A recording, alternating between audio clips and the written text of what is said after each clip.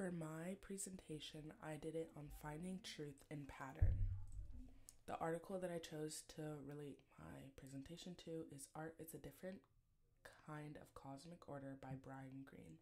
He's a theoretical physicist. He also distinguished art as a means of accessing deeper human truth in pattern and mathematical arts, as I read in the article. The artist that I decided to connect my article to is Pablo Picasso. He was born October 25th, 1881, and he died April 8th, 1973. Picasso was influenced by Vincent van Gogh, Jackson Pollock, and El Greco. Picasso was a prolific artist. Picasso also had many periods in his artistry, such as the Blue periods and Cubism periods, which is the period that I'm going to be talking about in this presentation. Les Demoiselles Les de Avignon of 1907 is the first artwork that I'm going to be talking about. I know I butchered it, I apologize. Um, Picasso actually kept this art in his loft for about 10 years until 1910, which is when it got leaked by press, and then he put it up for people to see um, in 1916 Due to the meaning of this painting, as the title means female prostitutes, he drew them and morphed them as if they like weren't beautiful women. He kind of like made them look crazy. He morphed their face. He put them in provocative stances. As you can see, the lady in the corner who is legs wide open um, and it just, yeah. This painting is revolutionary to the artist's omission of perspective. As you can see, there is no vanishing point, so there is nowhere for your eyes to move, which is pretty cool. Okay, the next one is Portrait of Ambrose Vollard, which is actually one of Picasso's influences, so that is why he made a portrait of him. This is also very much cubism, as you can tell, there are patterns and cubes everywhere. His face is a bit more noticeable and it's a lot more human like and it's not morphed in any way.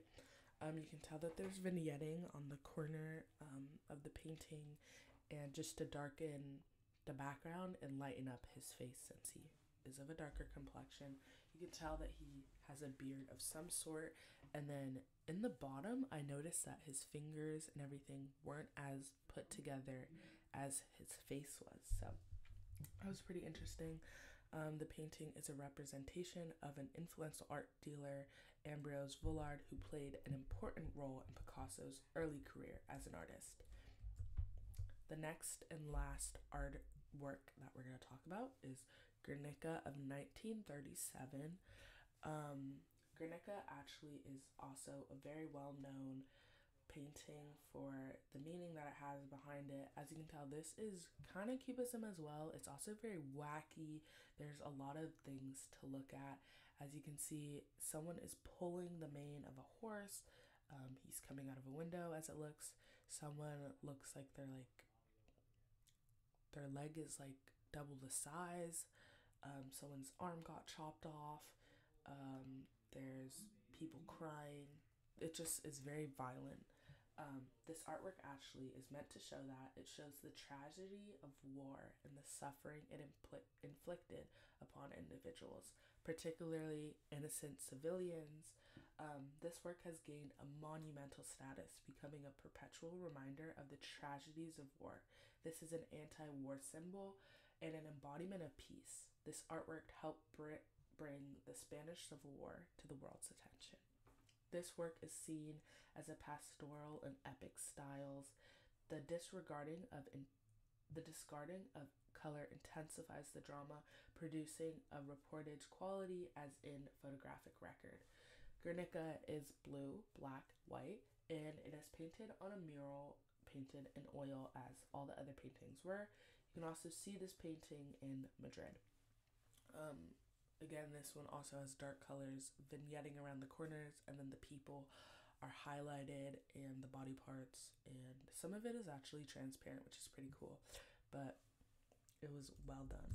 Okay, these are all three of my paintings put together, and I believe that all of these cubisms uh, paintings that Pablo Picasso made demonstrates that pattern can help give a deeper meaning and also spread awareness um, compared to most what people would see when they glance at these paintings. And when I first saw these paintings, I didn't think much of them. I just thought, wow, these are pretty artistic, really wacky, and very different for different types of cubism. But when you learn a lot more about the paintings, you realize that there are really a lot of truths in the pattern and the way that the painter paints the people, the portrait, or the symbol. So I think it was very interesting to research, and I really enjoyed looking at all of these paintings. Thank you for listening.